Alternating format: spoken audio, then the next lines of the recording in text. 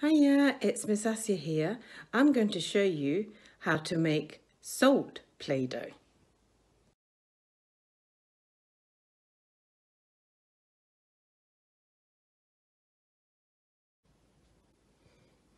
One cup of table salt.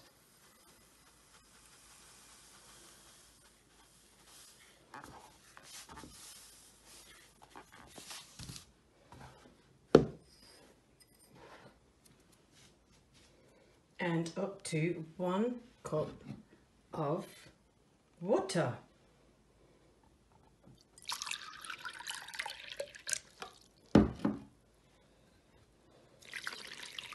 Pour it all in and start mixing. You can use a spoon or your own hands, a wooden spoon, any kind of thing to mix it. And now I'm going to knead it.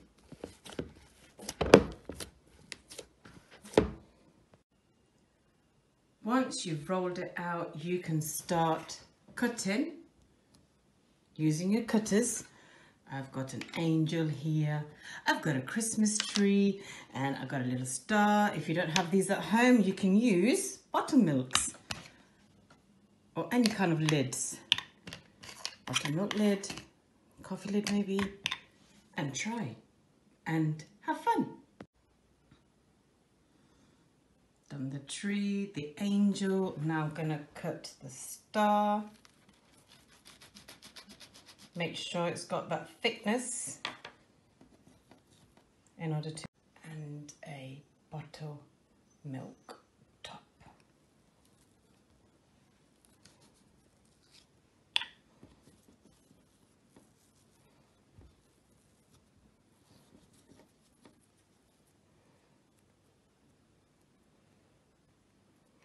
Up the corners.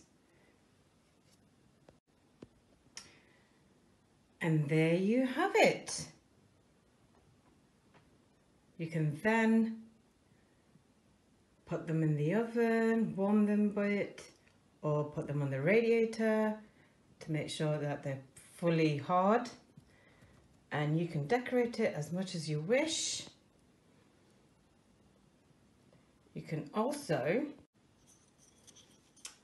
use a pencil to make a little hole so you can hang them on your Christmas trees like so.